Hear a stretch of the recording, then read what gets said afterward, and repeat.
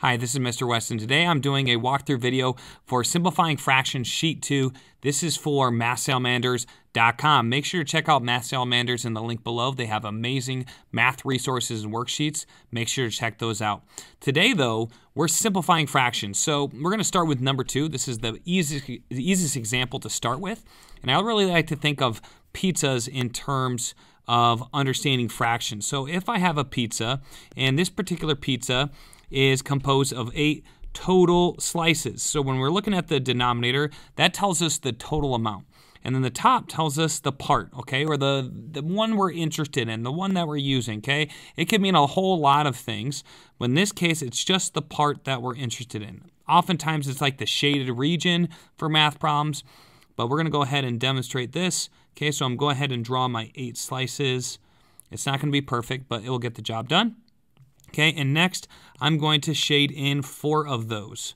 Okay, so obviously there's a simpler way, let me shade this a little bit better. There's a simple, simpler way to write this expression.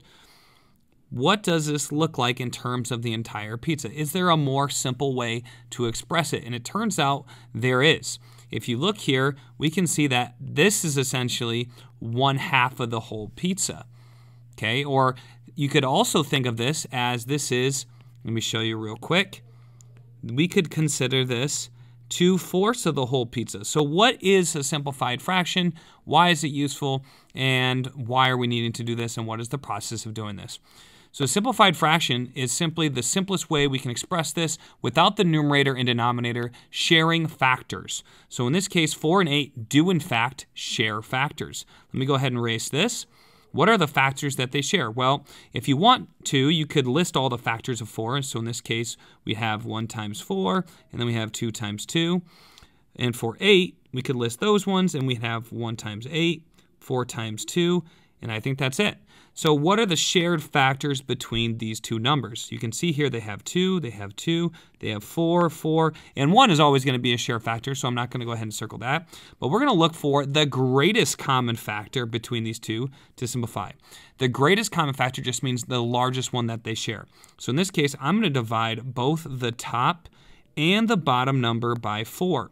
Why can I do that? Why don't I just do that to the top? The reason why I can do that is if I'm dividing by 4 over 4, essentially what I'm doing is I'm dividing by the number 1. 4 over 4 is the same thing as 1. And if I divide by 1, for example, 10 divided by 1 is still 10, I don't change the value. So I can in fact divide both the top and bottom by 4, and that's what simplifies it. They have a shared factor. We can split it into simpler pieces.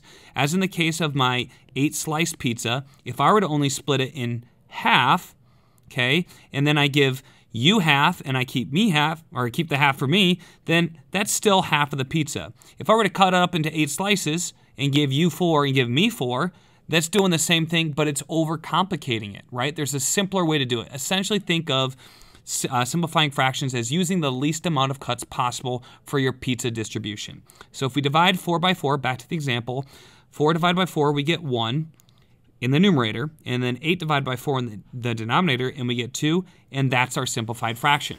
So the step-by-step -step process is 1, find the GCF of both the numerator and denominator, so that's number 1, and number 2, divide by GCF.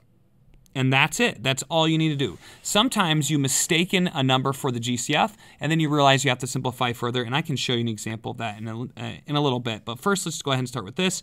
If I want to list the factors of 14, I'm just going to list it in list form this time. So that's 1, 2, 7, and 14.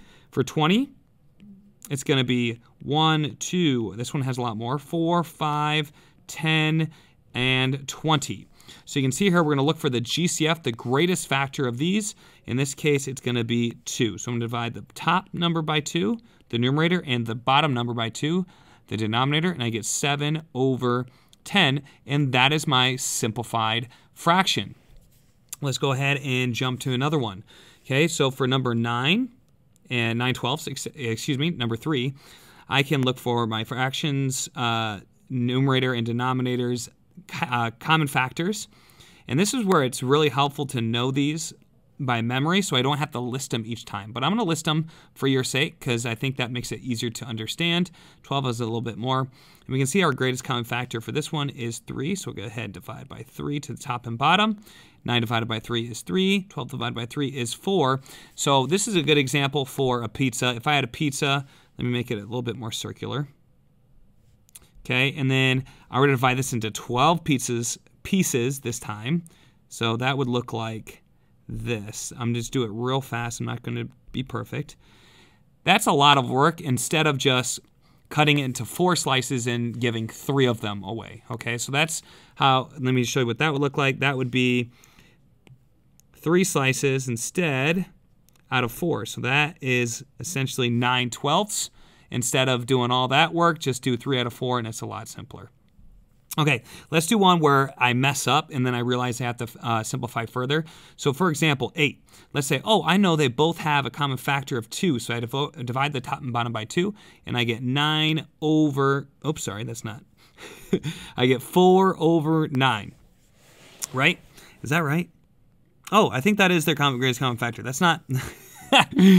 that so I the reason why I know it's my greatest common factor is because I have one, two, and four, and then I have one, three, and nine, and they don't have share any except one, so I know I'm good there. I meant number seven. Sorry about that. Number seven, but that was also a good example why I know it's simplified. Number seven, it divide, if I divide the top and bottom by two, I said, oh, 12 and 16 both have a common factor of two. I'm to divide it. So I get six over 8. And I was like, ah, it's simplified. I divided both the top number by the same thing. We're good to go. Not so fast. So, yes, 6 out of 8 or 6 over 8 is a simpler form for 12 out of 16. It's not the simplest form. And the reason why I know is I can divide these numbers by 2 again. 6 and 8 also share a common factor. That's how I know I didn't divide it by the greatest common factor is if they still have a common factor. In this case, it's 2 again. So I get 3 out of 4 and now I'm done.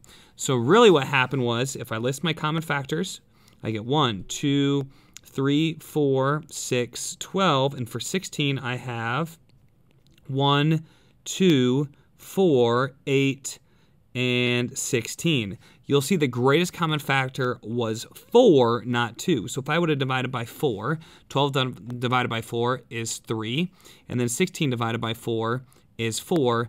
That would have been a quicker way to do it, but my other way of dividing and then dividing again also works, but it's not the best and most efficient way to do this.